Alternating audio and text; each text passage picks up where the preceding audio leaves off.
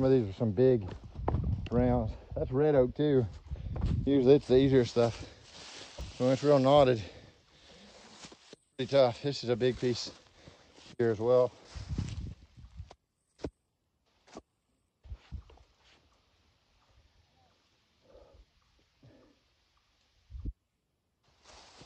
Go for the sides.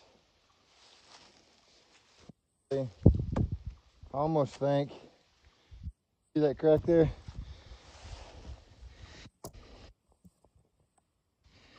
Notice this just now. See this? Then when you look on the other side, there, I'm gonna go for that. I like to go for the sides, but if there's a good crack like that one, even on the side there, as you can see, see how this broke apart? I haven't hit this at all. So uh, that's a natural crack. So when they're cracked that much, even the bigger rounds, I think sometimes it's easier to go for it.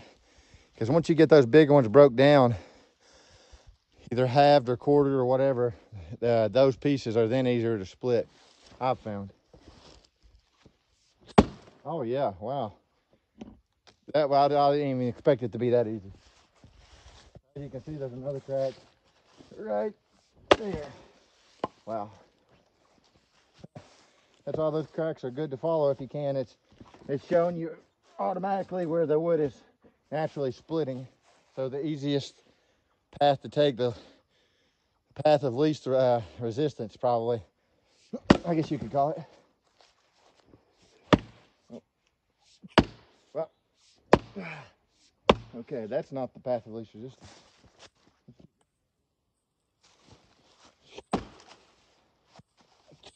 Oh, what's left is this.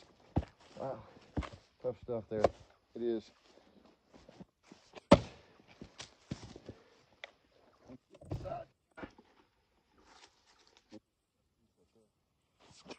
There we go.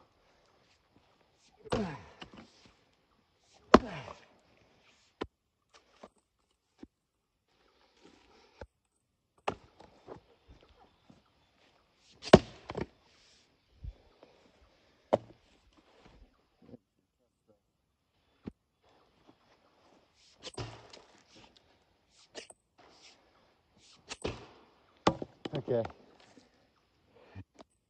You can stay in the woods. I'm talking to myself and to the camera.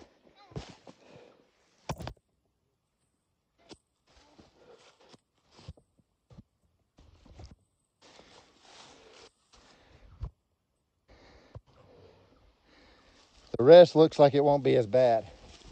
I hope not.